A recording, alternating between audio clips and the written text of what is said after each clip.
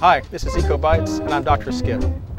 Today we're going to talk about stinging jellyfish. Stinging jellyfish are a common sight along northern Gulf of Mexico coastline in coves and bayous and along the shore.